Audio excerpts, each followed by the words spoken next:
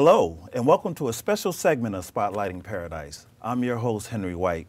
My guest today is Brian Robertson, uh, from, who's the co-founder of Holacracy, and Ingrid Bredenberg, who is the founder of Bredenberg Associates.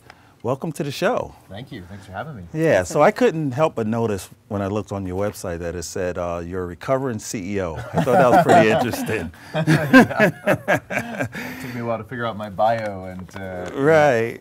I've been a CEO in the past, and, and I'm grateful to not hold that, that job title. I, I can certainly understand that. And uh, just by the way, welcome back to Western Mass. Thank you. And welcome back to the Valley. So we're going to just jump right in here.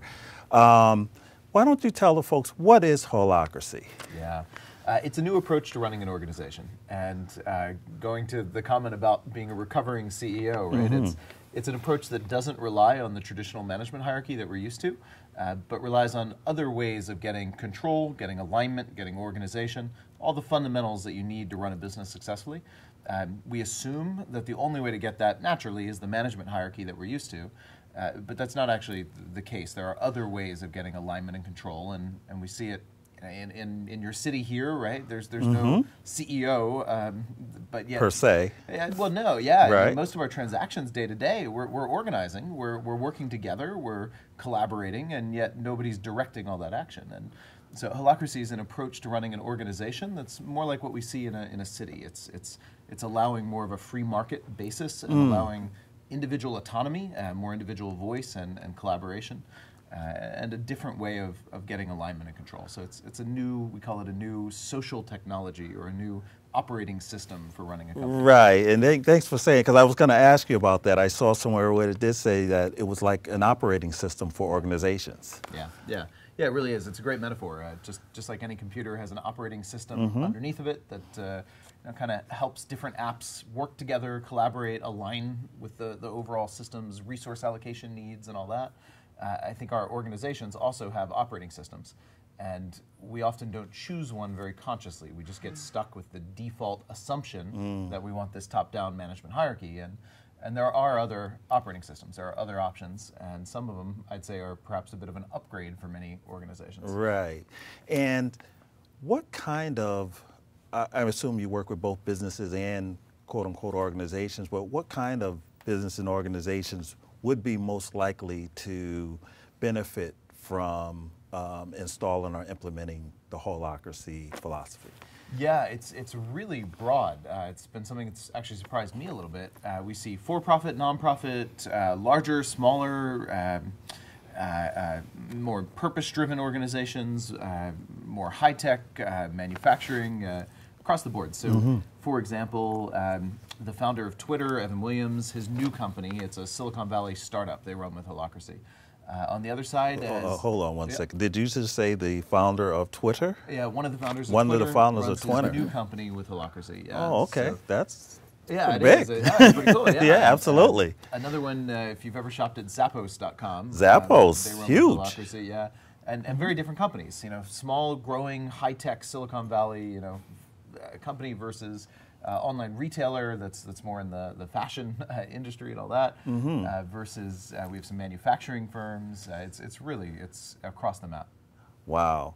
So, give an example. I mean, I know you just talked about Zappos and and the Twitter uh, gentleman there.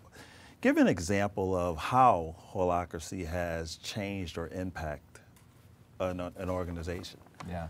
Yeah, um, actually, I think uh, one of the really cool uh, stories that's just recent for me is uh, one of the uh, the director of HR and one of our clients, um, who initially was really uh, skeptical of mm-hmm. Holacracy. Um, she it was uh, they have a really cool company. It's a new way of running things. It was she had good reason to be skeptical. It's different.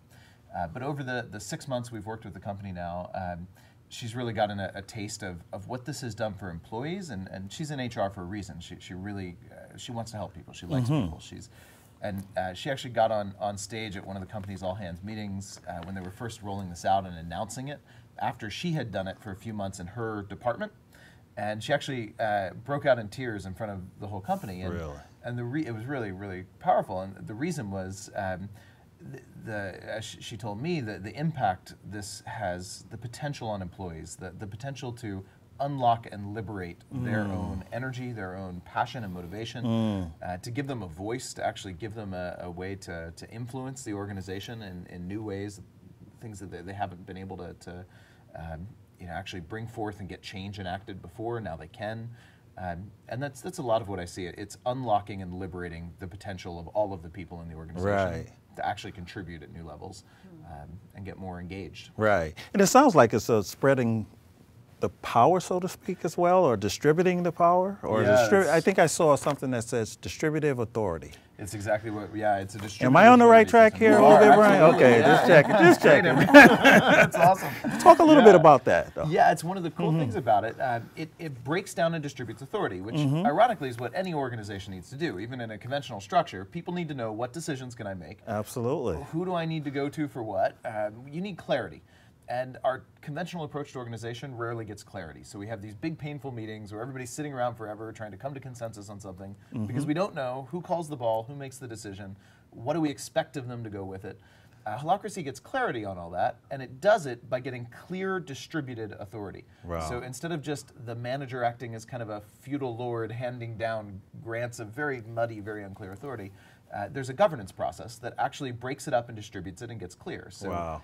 Everyone in the organization knows exactly what their authority is, Yeah. and there is no manager who can trump that authority. They Wow. Mm-hmm. know this is my authority, and they know what's expected of them along with it. So if, if you have this authority, then we need to expect some things from you. Absolutely. And those go with it, and all of that gets clearly defined, and it evolves continually. Wow. Um, And I would imagine that relieves the tension in the organization as well, or potential tension, just because of those different roles and responsibilities. Absolutely, yeah, it does. And, and actually, tension is one of the inputs into the whole process because when we feel tension in an organization, it's often Mm-hmm. a clue that something could be better than it is.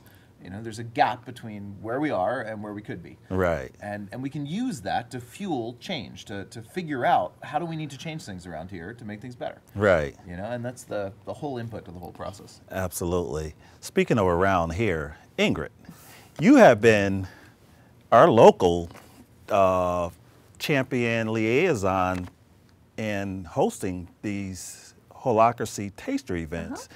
Um, and besides that, what what has or what is your role with holacracy? Yeah, well, as you know, this is my 25th year doing consulting work. So I have worked in many different sectors with lots of great ideas, and my goal is to bring the latest and the most proven approaches to my clients so that they can run their, their businesses more effectively and have fulfill their purpose and have more fun. Uh, when I came across holacracy, I really got that this could, in fact, attend to so much of the pain that I see in organizations. I work with a lot of very enlightened leaders, people who are really ready to make change. And what has happened more than a few times is that leader has built a beautiful culture that has, has a wonderful organization, and then they leave and a lot of that will fall apart because it depended on what is known as the heroic leader. So, what I see in holacracy is the opportunity for people, as, as Brian expressed, to really bring their full self to their work mm. and not only fulfill the organizational purpose, but fulfill their own. Absolutely. And that's what's so exciting. I work with a lot of boards of directors, and people come because they believe in the organization and then they get burnt out because they get depended on so much and there's no way to keep the flow going. Mm. So my wish is that more and more people and more and more business leaders and community leaders understand that this is this is another way to run the organization where you can actually run do more with less, Mm. have more fun per minute, and have people really uh, know that their efforts are going somewhere and they're being well utilized. Absolutely, and that's great. And who wouldn't want to do that? Do more with less and have more fun while doing it.